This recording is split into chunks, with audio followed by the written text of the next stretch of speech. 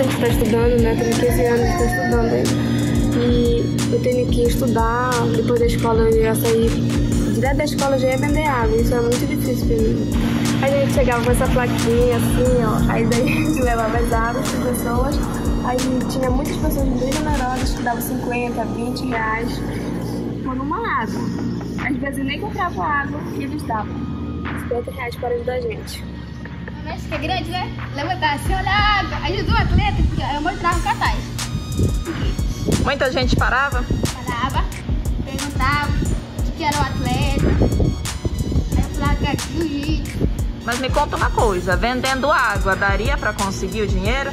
Não pensar que não, mas, mas no primeiro dia passou um cara de carro e passou logo, deu 100 reais. Colega do mestre, e muita gente lá passava, dando patrocínio. Um homem você passava lá, ficava observando. Ele é dono do rancho da Cabocla ali, ele passou, vendo nosso esforço e deu mil reais pra nós. E o que, que o seu coração sentiu nesse momento? Muita emoção.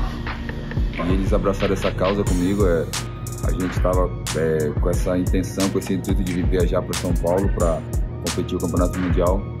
A gente sabia que era muito difícil também, tinha bastante dificuldade, né, para a gente poder chegar lá. E a forma que a gente achou foi essa, né, vender água. Né, eu falei, passei, repassei a mensagem para eles, eles apoiaram a mensagem, né, apoiaram a ideia.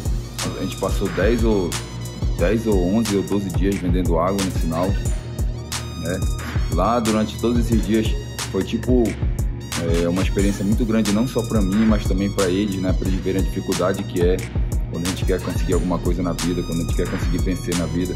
Né? Mas durante esses 10 dias que a gente passou lá no sinal, é, a gente pôde ver também que tem muita gente disposta a ajudar, entendeu? Mundial de Jiu-Jitsu Esportivo, em São Paulo. É a primeira vez que vocês vão para um evento tão grande? Sim, é a primeira vez. E quem é que vai trazer a vitória dos dois aí? Os dois. Meu Deus, vai trazer a vitória. Tarde o negócio lá. Botar pra ganhar. Eu quero agradecer a todos que ajudaram a gente com as águas. E a gente vai para São Paulo para ganhar.